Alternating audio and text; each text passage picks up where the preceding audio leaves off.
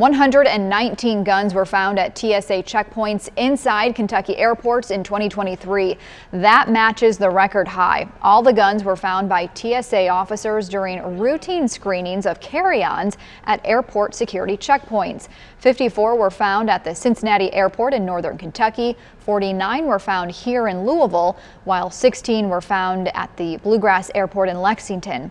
Statewide in 2023, TSA screened approximately 8.15 million departing travelers at the five commercial Kentucky airports.